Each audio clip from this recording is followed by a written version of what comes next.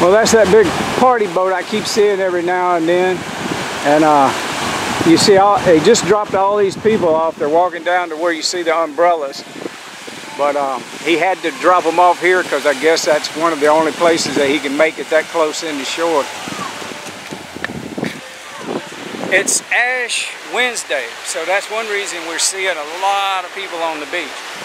Look down that way. Normally you don't have near about that many, but Ash Wednesday is a, in case you couldn't hear me because of the wind, but Ash Wednesday is a, I gotta get my hair right. Ash Wednesday is a big holiday here in Jamaica, like it is at a lot of other places. But, all right, I'm gonna go see what Big uh, Tony and Leon are doing. I bet they're gonna be cooking some lobster tonight. If you ever come here, you gotta come down here. That's the Royalton.